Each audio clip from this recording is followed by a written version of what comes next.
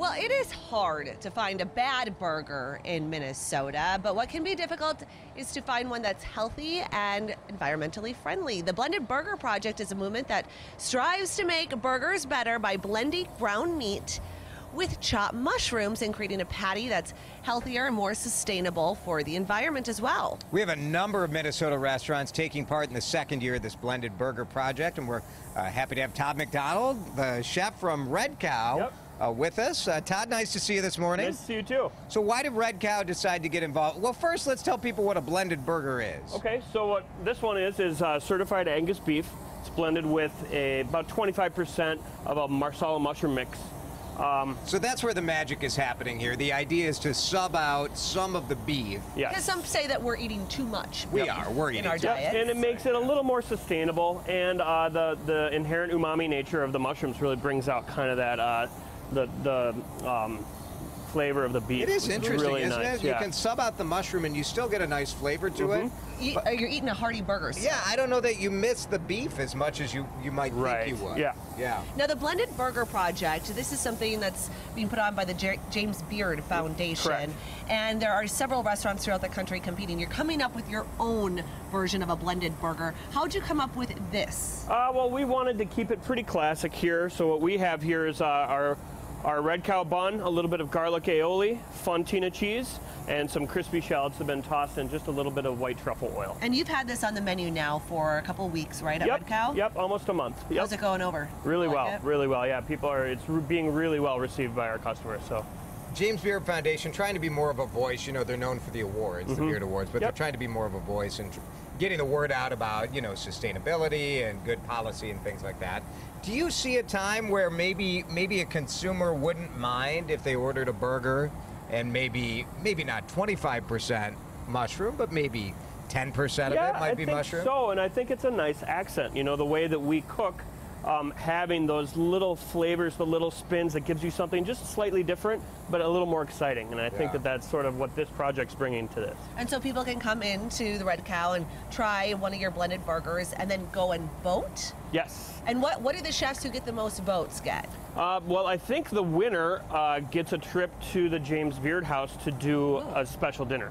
Fun. So Which is pretty cool. It is pretty cool. yeah. Is this something that you'd see uh, keeping on the menu afterwards? Um, yeah, possibly. We'll see. You know, we want to see it all said and done how how the the burgers received. Sure. And uh, you know, if it's something that we want to maintain support of, yeah, we, we would discuss that. It's up yeah. to the people. It is. If you It buy is. it, they'll keep it. That's how that goes. Yep. So uh, if you'd like to vote for Red Cow's Burger or search any of the Minnesota burgers in the Blended Burger Project, we have a link at wcco.com slash links. We put it on our Facebook page as well. And you guys are going to be back in the next hour. And I, I, I'm hoping we're going to get to try this. Really, that's my... Ooh, it that's smells delicious.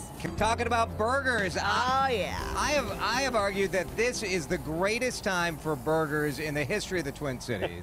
it's hard to find. Well, I'm not going to say it's hard to find a bad one, but uh, there are so, so many many good good ones. ones. And the James Beard Foundation has started this project. It's the second year. It's called the Blended Burger Project. They're trying to improve burgers. We eat so many burgers. Todd MacDonald, chef from Red Cow, with us here this morning. Americans love burgers. They do. But we eat so much beef, there is an impact on the environment from all of those cows that are being raised for Yep. beef. So what the James Beard Foundation has done is the blended burger project here. We're adding uh, 25% mushrooms Hmm. to the burger. Um, just to up the flavor, it, it makes for a really nice, moist burger patty, and it makes it a little more sta- sustainable, less carbon footprint. Now, does it matter what kind of mushrooms you use? No, or I think it's up to the chef. You know, we Okay. use a blend of wild mushrooms, but I've, you know, every chef um, has been challenged with this project um, to take it in what direction they feel uh, lends itself best to the meat. And so, how'd you come up with the blended burger that you're doing? Well, we're keeping it pretty simple here. We have a nice 25% blend here going with uh, certified Angus beef. We're adding a little bit of garlic aioli, uh, fontina cheese, and crispy shallots that have been tossed in a little bit of white truffle oil to accent the mushroom flavor. So I've tried a number of the blended burgers Mm-hmm. from the Twin Cities area that are a part of this, and what I like about yours is that it just tastes like a great burger. Like it's not, You- it's you- not showcasing the think that there's- mushroom. Right. right. It's really just a delicious. Well, I, I think we're trying to show that uh, you can have that sustainability without having to showcase the mushrooms Yeah. that you can actually really just replace that amount of meat and still have a great great tasting burger. And so this is on your menu right now. It is. And what's the feedback been for you? Have people been loving it? Yeah, they really do. Yep, yep. We're getting a lot of really good feedback on this. Um, it's one of our most popular burgers right now. so. And you can get it. Red Cow has a number of locations now. Yep. Of course, uh, you're in Edina. Mm-hmm. You're in St. Paul. Yep. North Loop? And the And North then Loop. down in the North Loop. Yep. Yeah.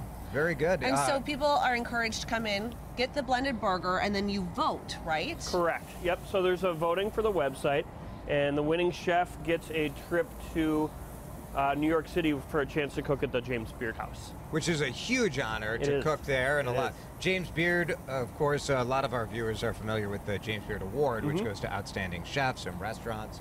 Uh, so to be able to cook in the James Beard House is pretty cool, It is. and to have this message sent. You know, I tell you, just trying these, I am inspired to try it at home. You know, try to make my own burger with a little bit of mushroom and see how it goes. Yeah, it's pretty fun to play around with. There's a lot of ways you can take it. Definitely healthier too. I mean, you could add more of the fried onions, right? If Yes. you can if Yes, you put in some can. Mushrooms right. in your burger. Evens it out. All right. Well, and the burgers are going to be available through the end of July. Correct. And go Okay, vote. You go to the web. vote. We have a link at wcco.com slash links. You can vote for your favorite uh, burger, and Todd would appreciate your vote, I think, right? Yeah, absolutely. That's right. Come see us. Yeah. Well, thanks for coming in. We So thank you appreciate very it. Good much. luck to you guys.